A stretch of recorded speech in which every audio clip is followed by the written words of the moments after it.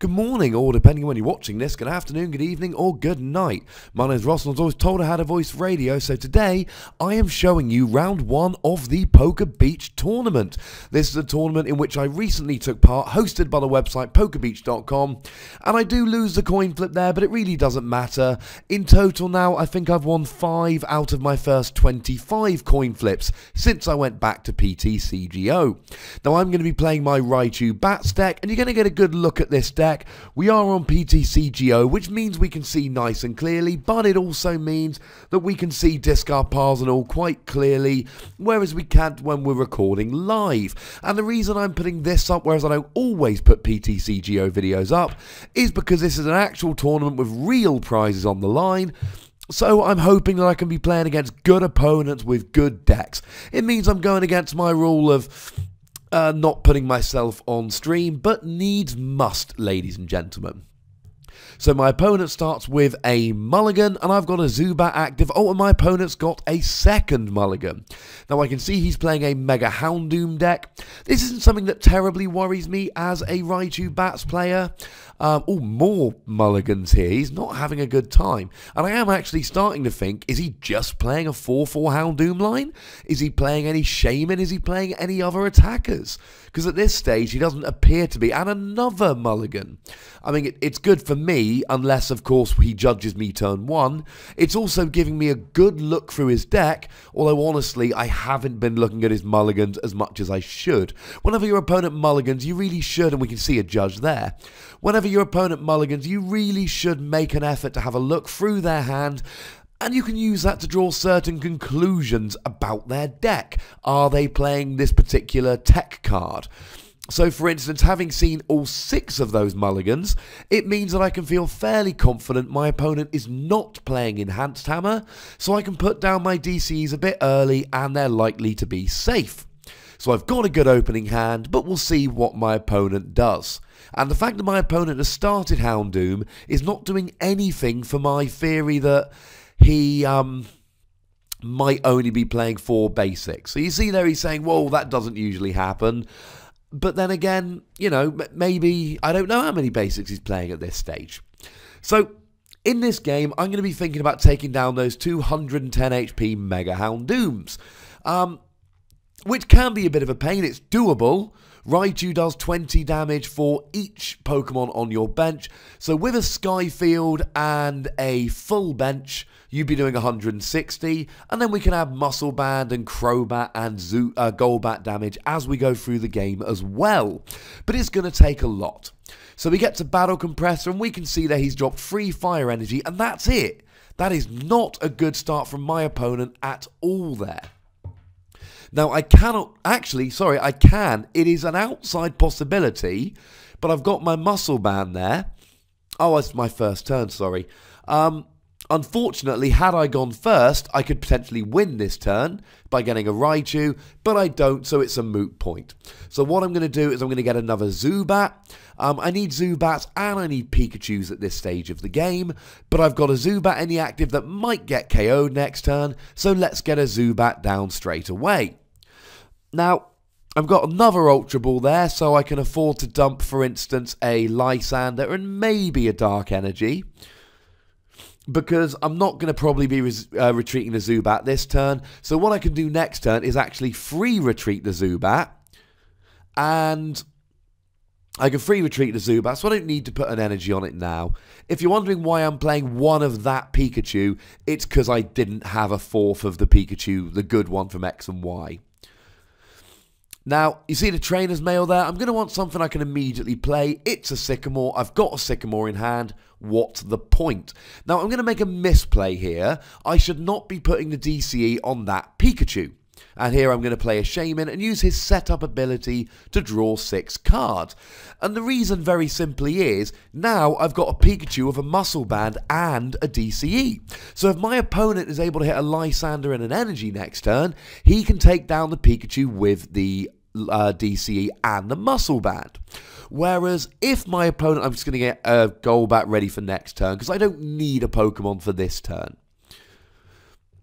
Um, now, if my opponent has a Lysander now, he's going to be able to take down the Pikachu with the Muscle Band and the DCE, whereas had I put the DCE on the other Pikachu, he can either get rid of the Pikachu with a DCE or he can get rid of the Pikachu with a Muscle Band, but he can't get rid of both. So, not the best of plays from me there. A silly mistake. Now, this is an online tournament. I am sitting listening to Iron Maiden at the time, and my attention, it, it, you're not paying. Oh, and there is the Lysander, and he gets the Pikachu, which just makes me a silly boy indeed. Any VS Seekers for another Lysander, my opponent clearly not having much good there. He clearly hasn't got very much. Although he did make a little mistake there, because you notice he had a VS Seeker.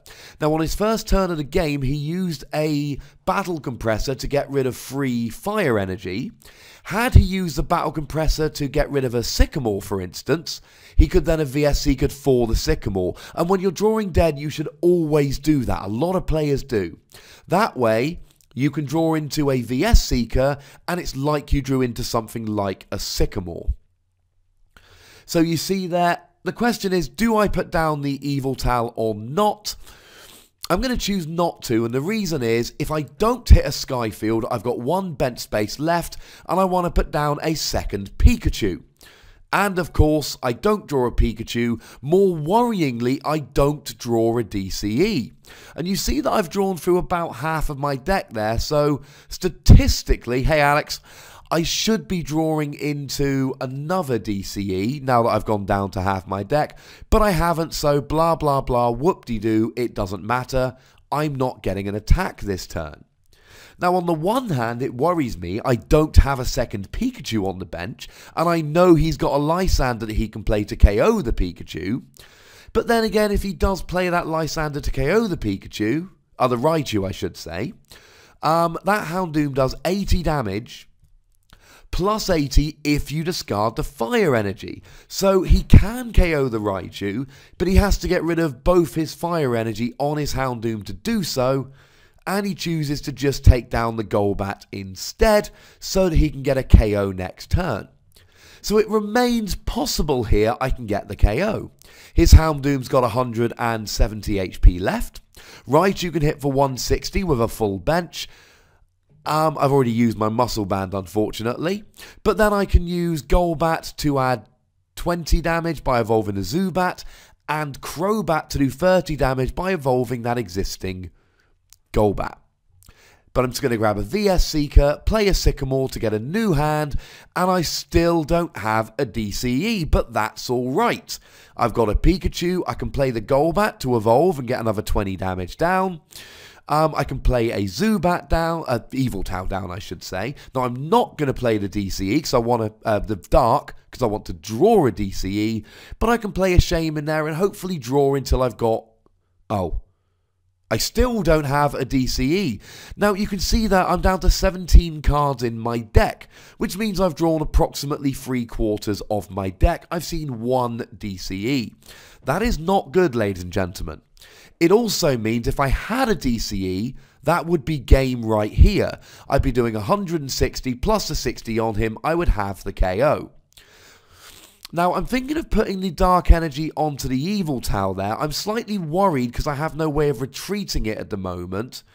But I'm not so worried about that because either, you know, if he KOs the Yveltal, I can attack. And if he uh, Lysander something off the bench and KOs it, I can then just put whatever I want active again. So, and if he doesn't KO it or use a Lysander, I can just keep doing 30 and attaching energy from the discard pile. My opponent there complaining about his draws, and to be fair to the chap, he mulliganed six times and has drawn badly. But, and you often find this when you look through games, and I've, I've done it myself on more than one occasion. He says he's been drawing badly, and he has, but he had a VS Seeker and he played a Battle Compressor.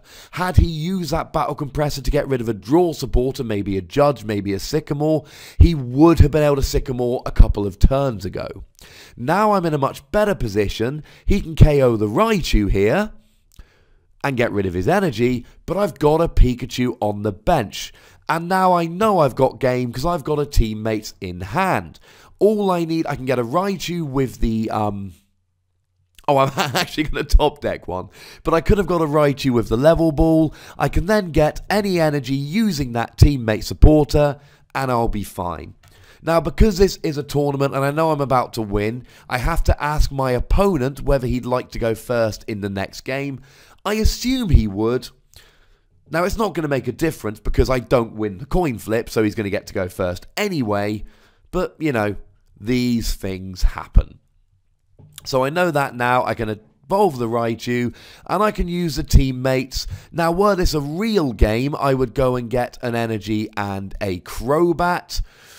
Um, and I forget myself for a second here. I've got the win. I should just take it. Although I, he hadn't actually replied at that stage, so there's my excuse. I'm waiting for my opponent to reply and let me know if he'd like to go first or second. So now I can drop the um, Crobat and I can get the KO with Raichu and all will be good. Now, with the Raichu against Houndoom matchup, it's not a... Megas aren't great for Raichu because even with your Skyfield and your full bench and your bats and 210 damage is a lot. It is essentially a full bench with a muscle band or a Golbat and a Crobat. And that is a lot to ask for, ladies and gentlemen. But unlike the Mewtwo game, where you're playing the Mewtwo and they have the opportunity to heal, use that damage change attack to get rid of all the energy, all the damage, Houndoom can't do that. And if they use an AZ or a Super Scoop Up, they have to get rid of the energy they're using. And any turn they Blacksmith is a turn they're not using something like a Judge or uh, they're not using something like a. Um, Lysander. So I'm really not worried about it so much. This is a matchup where I can afford to take two hit KOs. Unlike the Raichu deck does. And this is one of the real downsides of the deck, one of the reasons why I'm testing it in a Pokebeach tournament rather than going full steam ahead and making this my ECC deck or something of that nature. For those that don't know, that's the biggest tournament in Europe that I'm going to in a, a week and a half, in a couple weeks' time, week and a half, I believe. I don't know if I'm playing Raichu Bats there, and one of the reasons, very simply, is you lose. Your opponent can be having a really bad game, a really bad setup. And yet, as long as they've got a half decent Pokemon and a couple of energy, they're still taking a prize every single turn. While you're sitting there desperately um, while you're sitting there desperately trying to get your Golbats and your Crobats and your Stage 1 Raichu and your DCEs and all of that. Now, my opponent's asking me to call here. I think he misunderstood. He gets to go first this game anyway. So I'm just going to tell him it doesn't matter what happens with a coin flip, because even if I win the coin flip, and we all know at this stage I'm not going to, even if I win the coin flip, I'm just going to choose to go second anyway. So this way we can best simulate a best of three tournament in, you know, as if it were actually at a, a proper tournament. And true to form, I've lost the coin flip. The official tally at this stage is 25 games played, 5 coin flips won, which is a nice kind of 20% rocking. I think that's right. So here, I'm not feeling too bad. Yeah, I'm going second, but I've got an energy and I've got a sycamore, so it's gonna be okay. Now my opponent doesn't mulligan, and that's a good thing, so we can just get straight into it. And actually, he seems to have a bench Pokemon as well this game. So like I say, the thing with Raichu is you really do end up in a situation where your opponent can put a lot of pressure on you without doing very much while you have to really try. Now that's weird, my opponent plays Pokemon Catcher. Now I should say that in this tournament, extra prizes are being given for the players that get furthest with unusual decks. My opponent playing a Houndoom deck with Entei and Pokemon Catcher and things of that nature. If my opponent does well, I like his chances. Now I'm playing a very unusual Raichu Bats list, although some people apparently don't believe it's mine, but I don't think it's unusual enough to get fancy prizes like that. So I play a Sycamore, I've got a Feebas on the bench, and that's alright. I've got a Skyfield, which I'm going to put down for two reasons. Firstly, I've got a Shaymin in hand and want to draw more cards. And secondly, you can see I've got a Sycamore in hand, so I'm going to get rid of two Skyfields next turn. I might as well play one now. So I get a Pikachu ready to go next turn, and once again I'm going to have to play that Muscle Band because I want to draw more with the Shaymin. Now I know I've got a decent setup and I'm going to Sycamore next turn. I'm being a complete idiot here. You drag it onto the bench. That was very silly of me. But I want to get the best setup that I can, and that really involves the use of some basics. Now an awkward decision here. Do I Super Rod back in the Raichu and the Crobat that I discard, or do I discard the Super Rod? And I think I have to discard the Super Rod here. Because I need either the teammates or the Sycamore next turn, depending on whether my opponent takes a KO or not. And I really need to get another Pokemon here. And I'm going to go for a Shaymin so that I can hopefully turn one Pokemon into many. I'm only drawing three extra cards with Shaymin, but I really want to draw as much as I can, as quick as I can. I really want... Oh, there we see, another Zubat, so that's actually worked out quite nicely. What I really want to do with this deck as soon as possible is get minimum two Pikachu, two Zubat on the bench. So that I can avoid my opponent doing what he did next, last turn and or last game uh, and doing something like he takes out my only Pikachu. That is not a situation I want to be in. Now I'm deciding here, do I want to retreat the Zubat? Because I've seen my Feebas is prized. Do I retreat the Zubat? Just let him kill my Feebas? I've decided not to. Um, although he has got an Entei active with an energy and a muscle band, and his first attack does 30 and reduces damage done to it by 30 the following turn. Add the muscle band and the extra 20 damage that that does, and that, that Entei, if as long as he's got an energy, will KO that Zubat. There is no doubt about that. He's got the KO. Um, he's also got a burning energy on there, incidentally. And my opponent here, he's going to play an Ultra Ball, and um, presumably he's going to go and get, you would imagine either a Shaymin, or if he's playing it, oh, there we go. I was going to say the Hoopa. Because if he's playing Hoopa, then not only can my opponent get a Shaymin to draw more cards, but he can also get, there we go, a pair of Houndooms. So now we can have two Houndooms on the bench, and he can have his Shaymin to draw more cards as well. And all he needs is one energy to get the KO here. Now he plays a Pokemon catcher, and that's a Tails. Um, presumably there, he was going to be trying to go after the um, the Pikachu. Now, Pokemon Catcher is a really worrying card because we've all seen how powerful Lysander is in the current format. Well, Pokemon Catcher is that, plus you can play a blacksmith. So I was saying earlier in the game, I'm not worried about him using something like a blacksmith because then he can't Lysander. Well, he can still play Pokemon Catcher. So my opponent here is going to be playing a Battle Compressor. No, sorry, he's taken a Battle Compressor from the trainer's mail. Now he's going to play the battle compressor. And did he learn from the previous game? Is he going to go ahead and try and put a supporter in the discard to put, make his VS Seekers a little better? I'm not entirely sure. That was very quick. I know he got some fire energy in the discard there. Um, but he still hasn't drawn any energy. Now there's an argument there that he shouldn't have battle compressed energy. Because now he's less likely to draw into it when he plays a Shaymin. Now, my opponent plays a Parallel City, putting me down to three Pokemon. That's a pain, but it's not the end of the world. You can see I've got a Skyfield in my hand. But Parallel City actually reduces, if he's putting my bench down to three, it reduces the damage done by fire Pokemon by 20. So now, even if he's got an energy for the Entei, that muscle band puts him up to 50. Parallel City puts him down to 30.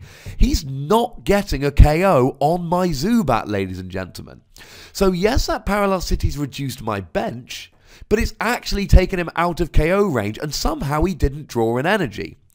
Though I remind you, he battle compressed some energy, so that actually made him less likely to draw into energy when he played the Sycamore. So maybe that battle compressor is a reason he didn't get energy.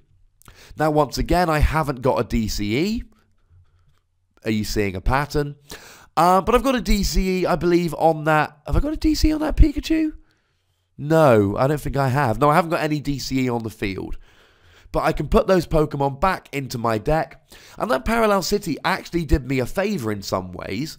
Um, it's one of the reasons I play so many Shaymin in this deck. Because when my opponent gets rid of Skyfield, hopefully I'm in a position where I can, you know, I go down to five bench or three if it's Parallel City, and I discard my Shaymin, and then my opponent doesn't have easy bench prizes. And I still don't have a DCE. You can see there, I've drawn through about half of my deck. There is still no DCE. But I start doing a bit of maths here, and I remember that if I drop two Golbats, I can do 40 damage. So let's do it to his benched Shaymin. I can then swoop across to do 10 damage to all of his Pokemon, and that Shaymin will go up to 50 damage, leaving its 60 HP remaining. And you can see I've got two Crobats in hand, each of which can drop 30 damage. So next turn, I can put both those Crobats down, and I can KO his Shaymin on the bench for two prizes before I attack. And I'm checking his um Entei here. He would need to play a Blacksmith and an Energy in order to get the KO on Golbat next turn. He needs to do a, uh, the second attack for 130, which is two fire and two colorless. So we can only get the KO with Entei next turn by dropping a blacksmith and an energy. And I just looked at his discard pile there. He doesn't have a blacksmith in the discard pile. When he used the battle compressor to get rid of that energy, he didn't drop a blacksmith. That means his chances of drawing a blacksmith because he can't get it from a VS Seeker, it's got to be a blacksmith, are very slim. So I'm feeling pretty good about my chances here. Next turn, I can drop both those Golbat, KO the Shaymin on the bench, and then play a Sycamore for a new hand of seven cards, which really should net me a double colourless energy. Quite frankly, ladies and gentlemen, I'm feeling pretty good right now. This game is, and he's judging me. Look at my hand! Okay, the Dark Energy's doing nothing, but I had two Crobats that would have got a KO, and I've had to get rid of both those Crobats, and I had a Sycamore in hand. I was just going to go Crobat, Crobat, KO your Shaymin, Sycamore, boom, you dead.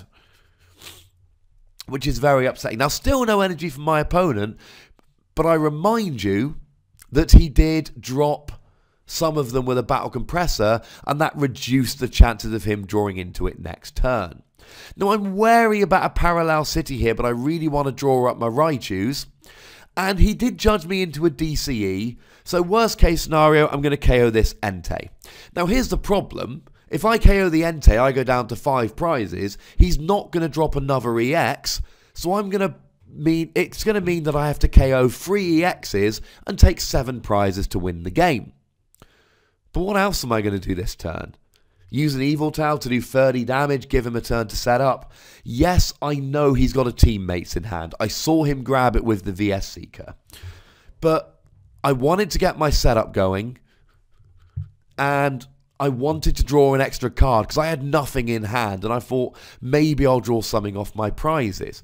The other thing is, every turn I give him to set up is another turn where maybe he draws a parallel city. And I don't want him to do that. I've got a Skyfield in hand, but there's only so many basics in your deck. If I have to get rid of four bench Pokemon, it's going to be a real problem for me to fill my bench up again this late in the game.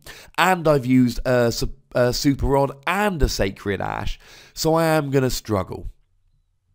Good news, my opponent plays a teammates, puts the wrong Pokemon active. I'm assuming he wanted to put the Shaymin active, get a DCE and Sky Return to get it off the field, but he didn't do that, and it's worked in my favour. I can evolve to Crobat, do 30 damage to the bench Shaymin, and now I can use Crobat's attack skill dive to do 30 damage to the bench Shaymin, take two prizes, and then draw an extra two cards from my prizes. Now, I don't know what my opponent was planning to do, he didn't say, but I can only imagine his plan was teammates for a DCE. Oh, and they're good prizes.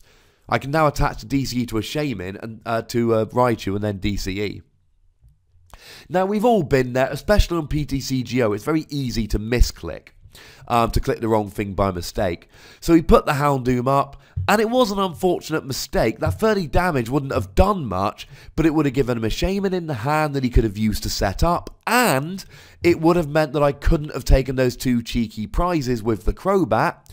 And look at my hand now. Next turn, I'm going to put a DC on one of the Raichu, and then I get to Shaymin to draw more cards. I'm in a very good position. Um, don't know if it's possible because my Milotic's prized in this game, um, and I've used my DCE already. So, no, it's not going to be possible for me to get a KO this turn. The maximum I can do is 160, plus a Crobat is 190, plus the 10 on him. I can get 10 HP short, and that is the very, very best I can do. But I'm two prizes up. I've now got two Raichus, both of whom have a DCE attached to them, and now I can put the Yveltal down, play the Shaymin, and draw some cards. Now, there is an argument here not to do that. Now, I'm going to miscalculate here. Um, oh no. Now, the argument is, I've got my attackers, I know he's playing Parallel City. So the argument there was, keep my hand as it is, I don't, I'm, I'm going to be going for a two-hit KO anyway, I'm going to try and get him in skill dive range here, but I'm going to miscalculate by 10. I want to put him on 180 so that if he retreats, I can skill dive with Crobat for the KO, but I am going to do a slight miscalculation here. Now, the other argument, and that's why I just played those, those, those Pokemon. Now, the other argument would be don't fill your bench. No, okay, I thought that was a different turn. Sorry, I'm not miscalculating maybe that's going to be the next turn. I was actually able to get the KO with the Crobat. So sorry, ladies and gentlemen, all the maths on that last turn. I think I might be looking at the screen here. The screen I'm looking at is actually very small. I believe I um I misread what was on the Pokemon. Either way, I get the big KO with Raichu. Life is good. And now I'm feeling pretty good about my chances. Now, I'm thinking, what can I do? With a full bench, I put him on 170. He's 40 HP away from being KO'd, and I don't get the KO here. Um, so really, there's no point benching another one of those Pokemon. My best bet is to just retreat and attack with Raichu. And this is what I was trying to say in the previous turn before I confused myself and miscalculated. The theory is, very simply, I've got a Skyfield, two basics, and a couple of Ultra Balls in hand. I don't play it all. And that way, if my opponent uh, if my opponent does play something like a Parallel City or any other stadium, then I can put my Skyfield down, which I've got in hand, and then I can play the Shaymin, the Yveltal, the Zubat, etc., and start filling up my bench again to do more damage with the Raichu. So I'm thinking here, do I put a Pokemon down to put the Houndoom into Skill Dive range? The argument is no, I don't. On the previous turn, I only played this game earlier today. I, I misremembered, so I apologise for my mistake on the damage calculation. Although feel free to mock me in the comments if you want. I'm fairly thick-skinned. So here I'm going to get the um, hit with Raichu. I choose not to Sycamore. I could go and look for a Sycamore for a VS Seeker so that I can Lysander next turn if he retreats. But I don't know, maybe he plays a Judge or a Parallel City or, you know, I, I want to play it safe. That's a good hand. Whatever he does next turn, except for a Judge, I've got a good hand. And even if he judges, I've got a Shaymin and a Sycamore going back into my hand. Um, so this game isn't going to go on much longer, so I remind you, please subscribe to this channel if you haven't done so already. We've been growing quite nicely lately. I'd like to see that continue. Make sure you like this video and chuck down any comments you've like. Do you like seeing these videos from the Pokebeach tournament against other players competing for um, real packs of cards, etc.? Or would you rather keep it to proper tournament games? What do you think about it? Let me know in the comments. I am going to do a deck profile on this Raichu deck, but not quite yet. Look for it in the next couple of weeks. It is coming.